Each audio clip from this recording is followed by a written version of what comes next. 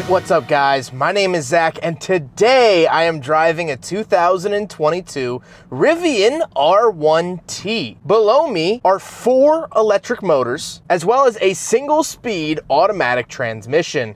Now I am super excited to be driving this here Rivian R1T because Rivian is the new kid on the block right now. This is their first year of release. They are built here in good old Illinois and it's always exciting to be driving a new nameplate. And so let's see how Rivian's freshman release stacks up. But before we get on to anything else, I have a website, zackpradel.com, where you can buy stickers and other merchandise when it becomes available. You could also submit your own vehicle to be reviewed by me through a quick and easy submission form. You get a video of your car just like this one, and you could read my behind the scenes blog to see what I'm filming before it comes out on the channel. Well, this electric drivetrain altogether makes about 831 horsepower. Now, there are two different setups that you can get currently for the Rivian R1T, and that is either four motor or two motor. Now, all of the R1Ts are four wheel drive, but you can select between the four motors, which is one motor at each wheel,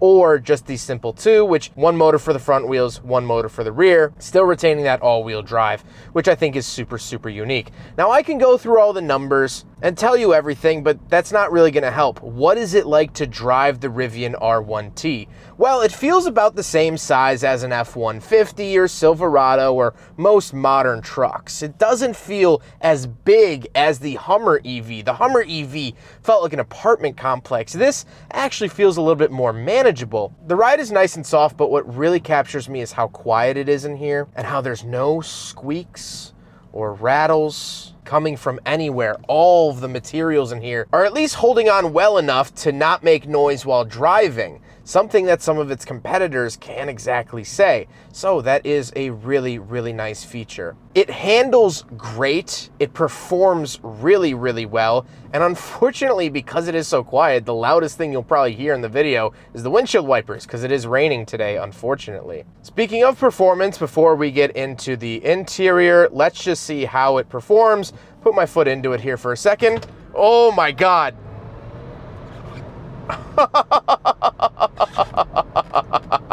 Take that, Raptor. that, that is quick. It is, oh, and it feels very tight. There's no lag or anything, and, and that's across the board for EVs, but it still gets me every time, man. This thing will get up and skedaddle when you want it to. I love that about it. So with the drivetrain out of the way, let's talk about the interior and some of the tech features. Well, in front of me, I do have a customizable digital gauge cluster. On the steering wheel on the left and right, I have two different scroll knobs for various things. But the coolest thing is that not only I get wood trim, but I get that awesome brand new Rivian logo, which is just so cool to be driving a car with a new logo. I mean, I've driven over 900 different cars, and so that to me is very exciting. Off to left, I do have more wood grain on the dash. Now this is real wood grain used in the Rivian, which I love, but I don't get any headlight switches. I get a vent and that's it. Moving on to the doors, similarly minimalist. I have just four window options, my latch to get in and out, and that's pretty much it. Now we will go into the center. I get this giant infotainment screen. We'll pull over and talk about it. All right, so let's talk Rivian R1T infotainment. So we'll start off down here with the navigation. I really, really love this map. First of all, this will show you all of the available chargers and you can actually select which charging network you would like to use. Electrify America, ChargePoint, EV Connect, Greenlots, EVgo, or Rivian's own system, which unfortunately at the time of this video, I don't believe they have any in my area. Oh, they have some all the way up in uh, Michigan, so I don't think I'd make it that far to even charge, but Still cool, nevertheless. Moving over here, we do have our Spotify and audio content, which is really, really cool. I do have my drive modes. So over here, we have all purpose and I like that it changes this image. I wish that it had a little bit more cooler images like the Hummer EV has these great, great graphics. That's one of the things I praised the Hummer EV for. But these images themselves are fantastic as well. They look computer generated. I also have conserve mode, off-road, so I can do all-terrain, soft sand, rock crawl, rally, or drift. Now, that is pretty freaking cool off-road drift mode. I mean, who would have thought? And then we do have towing mode as well. But down here at the bottom, interestingly enough, I do have ride modes that I can change at any time. So I have soft and stiff. I also have brake regeneration, so I could set that to high or standard. Even at standard, it's pretty aggressive brake regen, and I have yet to find a way to turn it fully off. Then I do have stability on and off, and then I can do my ride height. So this does have air suspension, and I can raise and lower the truck whenever I feel like it.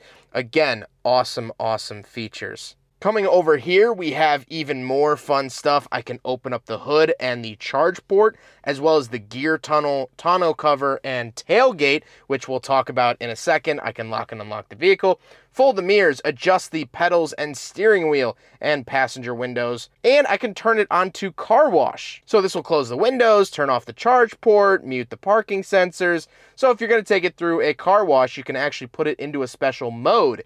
It's the first time I've seen that on a vehicle like this, and that's really, really neat. I also have gear guard video. So this is basically like Tesla's Sentry mode, which is very nice. Coming over to here, I have settings. I can go to the vehicle and get all my vehicle proximity settings, blah, blah, blah. And then I can even take a look at my cameras. So this is a front-facing camera. This is a 360 camera, and I can change some views and things like that. This is my rear-facing camera. And when I turn the steering wheel, you can see the lines themselves move as well, pretty smooth, if I do say so myself. Coming all the way back over here, we forgot to talk about the climate controls. So I do have climate controls. We can turn on some fans here. We'll try to turn on low so it doesn't bother the microphone. But you actually change the vents by going like this. So you can't manually adjust them yourself. You have to do it through the screen, which is a little bit annoying and I would hope that these systems won't break, but you never know. I do have a heated steering wheel, heated seats, and ventilated seats. Ventilated seats are very, very cool. And then I also do have pet mode. So if you want to run into the supermarket, but leave your golden retriever in here, you can do that. You could set it to pet mode, and the vehicle will maintain a certain temperature so that they don't overheat or freeze in the car while you're in the store, which is really, really cool. And so there are plenty, plenty more things that I can talk through in here, but I've already spent a long, long time on the infotainment. That's just scratching the surface, but really, really great features here in the Rivian R1T. Down below that infotainment screen, I have two more vents, of course, controlled the same way you control the other ones. And something I really like is that over on the dash, this is a launch edition Rivian, which is really, really cool. It says that, but it also says Rivian embossed into the wood itself really, really enjoy that. Moving down to the center console, I have this giant storage area. And this is the first part of this review that you really start to notice that this is a adventurous vehicle. If you go on Rivian's website, they advertise this and the R1S, which is the SUV variant, as electric adventure vehicles. And so that's gonna become very clear with the rest of the video, but I love this giant storage area. Then we do have cup holders. So for the first time in history, history. A Rivian is going to go up against the big friggin' bottle. And unfortunately, I have to give it a fail for the big friggin' bottle test, which is disheartening for a pickup truck. Most pickup trucks do pass, but unfortunately, the new kid on the block does not. Then I do get a center console. It has this nice rubberized anti-slip surface, and I can open up the center console as well, which is very, very handy. And then we got to talk about the seats. Now, the seats are actually not finished in leather, although they do appear like it. This is vegan leather, aka vinyl. So these are vinyl seats. They are decently comfortable, as we talked about in the center screen. They are heated as well as ventilated. They are power and they are memory. So, I mean, what more can you really want there? However, speaking of seats, we do have back seats. So let's go do a backseat review. All right, so we're in the back of the Rivian R1T. A couple of things to note back here. First of all, I do have my own touchscreen for my own climate controls down here. Absolutely love that. I also do get two USB ports, USB-Cs, so they do feel very, very modern. I also have USB-Cs at the backs of the headrests back here. I do have hooks so I can hang, you know, dirty clothes or whatever it is. The seats themselves, same material as found up front. They say Rivian in them. And what's cool is that I do have this pull down center console. I get extra storage in here as well and two cup holders, but I can raise this little trap door and I can actually access the gear tunnel, which this is weird. There's so much open space back here. you can access the gear tunnel. So if you have like a case of water on a road trip or something, you're going to South Haven for the weekend, you have a case of water back here because you don't want to take up space up here, but you could still reach through grab your bottle of water, whatever it is, and that is really, really awesome. Super cool stuff here in the Rivian R1T. There's always something to look at. But now, let's brave the rain and talk about all of the storage options on the outside. All right, so we're on the back of the Rivian R1T, and first of all, let's talk about that gear tunnel I was just talking about. So you can open it from up here, it pops it out, and then this folds out, and it does the exact same on the other side. So we can run around here, try to do this quickly, touch this button here, open it, and you could see all the way through the truck. That is a really, really cool feature. And these will support about 200 pounds. They also have little opening things in them as well. But this is super unique to the Rivian, and I love that feature. Coming around here, we do have a metal tonneau cover. You open it with this button here, and it is a power tonneau cover really, really cool. And it can actually support some weight on top of it as well. And it just makes your things more secure. We do have a tailgate button here. Drops down the tailgate like so. We do have some tie down hooks here, but over here we have the good stuff. So it's kind of hard to access, but, but that is an air tank. So if you need to fill tires or something, you can. And then these, there's actually a, basically a cord that goes from here to here and it'll tighten and so it works as a big bike lock for anything that you put back here. You can basically lock it in place with that. That is really cool. And then also you can come down here. I know we're kind of speed running all this stuff pull that up, and then you get this awesome storage space down below here as well. They really did think of absolutely everything when it came to the Rivian. Then I do get two more outlets, and that is it. So if you're curious if it has truck-like qualities, it certainly, certainly does. However, we are not done with storage. We also get a front trunk. So two times here on the key, and it is a power opening frunk. Something else really cool is that you might be thinking, Zack, that's not a very deep frunk. And you're right, because this actually has dual stage. So, has these little magnets on it. Boom, now you have more space. You can use it as two different tiers or one big tier together. Really, really smart. I'm really impressed with that. Fold that back down. Really, really awesome. Again, two times to close it here on the key. It flashes and then goes down. And I really love this key because this is actually a carabiner. So you can hook this onto your waist, onto your backpack, go out hiking and still have your key with you. Very, very cool about the Rivian. Now we got to talk about the looks, and this is one of the most polarizing parts of the Rivian R1T and Rivian as a whole. They're coming onto the scene with a very fresh, very different appearance, and that is very clear here in the R1T. First of all, the headlights look like USB-C ports. The rear taillights look like something out of the 80s. It's really, really polarizing and interesting design. I don't know if I love it. I don't know if I hate it. But what I can say about it is that it's polarizing. It's interesting. It's different.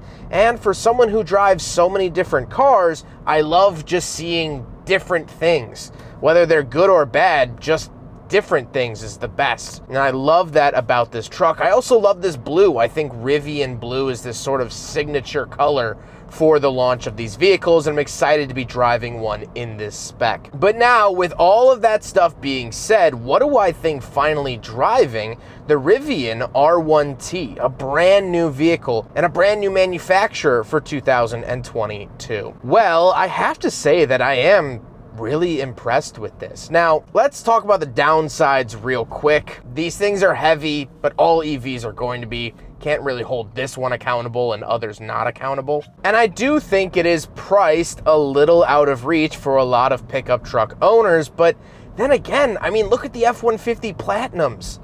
I mean, at the end of the day, you're talking about small change differences. So I really can't hate on it for that either. Let's talk about the things that I do like. I like how modern and new this truck feels. If you're into owning new cutting edge vehicles, Rivian is ready to serve you. I like how it drives. It's actually not very daunting to drive. Yeah, it is big, but you get over that pretty quick and it has really tight steering. It has great visual aids for backing up with the backup camera like we talked about. And overall, I do think the tech in here is very sufficient. I don't think it's over the moon. I don't think it's anything super crazy or crazier than Tesla's tech or crazier than the EV Hummer tech, but it's on par. There's some fun gadgets and gizmos to play with. And in a vehicle like this, that's what I want. But what excites me most about this car is that Rivian has been making some big waves for a new company they are producing Amazon's delivery vehicles, their new electric delivery vehicles. They already have two models, the R1T and R1S, which the R1S will be available here soon. And I think it's really interesting that we're living right now through this EV golden age. It's echoing what was happening in the early 1900s, but instead of gasoline cars with electric cars. Seems like a lot of manufacturers are coming out of the woodworks to offer the public EVs. Fisker's making a comeback. Apparently Sony is going to make an EV. There's always been talks of an Apple EV and this EV and that EV. Well, Rivian actually did it. And I don't plan these video shoots to be during the rain. Obviously, no fun. But I think the rain today is a good metaphor for the EV climate currently. I don't quite remember when it started, and I don't know when it'll end. I don't know what is going to happen throughout the course. Right now, it's lightly sprinkling, but bam! Lightning could come out of nowhere. But there's something I love, and it might just be an Illinois Midwest thing. When you're standing on your front porch and you see the storm clouds rolling in, there's a little fire that gets ignited inside of you. There's a little smile that comes to your face. And although you might tell your significant other or family, hey, batten down the hatches, it looks like a bad one, there's also a little excitement that comes with that. And that's how I feel about modern EVs. I don't know what's going to happen, but I'm excited about all of them. And although I'm incredibly excited and happy to be driving this R1T here today, I can't wait to drive what Rivian's doing in five years, in 10 years, in 20 years. Maybe this is a blip. Maybe this is the new Saturn where they were here for a good time, not a long time, and went away. Maybe there will be a Rivian preservation group years down the road because they made only a few of them. Maybe this will be the most popular, best selling automobile in the history of cars. I don't know. And that's exciting to me. I love exploding dead dinosaurs to make noise. I really, really do, and I always will. But you can't deny that these are exciting as well. But I hope you guys enjoyed the video. Don't forget to rate the video, comment on the video, and subscribe if you really liked it. Take care, guys.